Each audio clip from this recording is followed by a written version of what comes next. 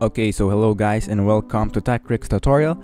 In today's video, I will show you the step-by-step -step tutorial on how to fix RoShade not working on Roblox. So by the end of this video, you will learn how to do them. So without further ado, let's get into it. So the first thing that we need to do is to make sure that all of the apps or software that is associated with Roblox is closed. So all we have to do is to go on our search bar right here and after clicking just search for task manager.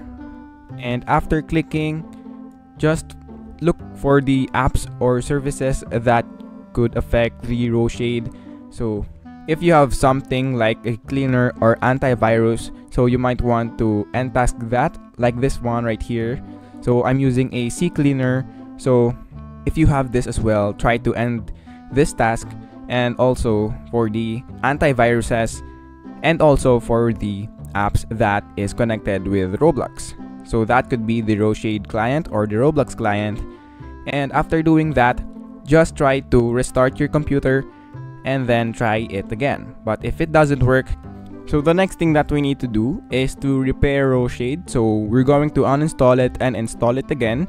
So just search for RoShade launcher right here on the search bar and then click open file location and then uninstall the file.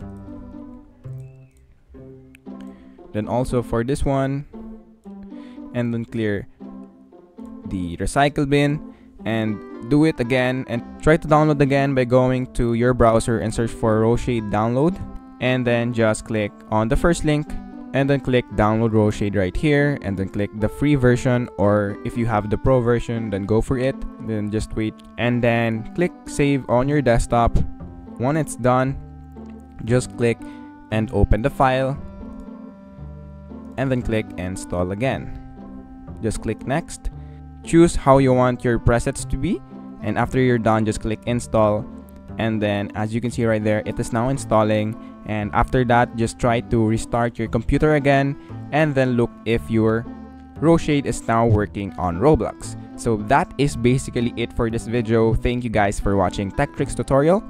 I hope you learned something and please don't forget to like and subscribe. Have a great day everyone.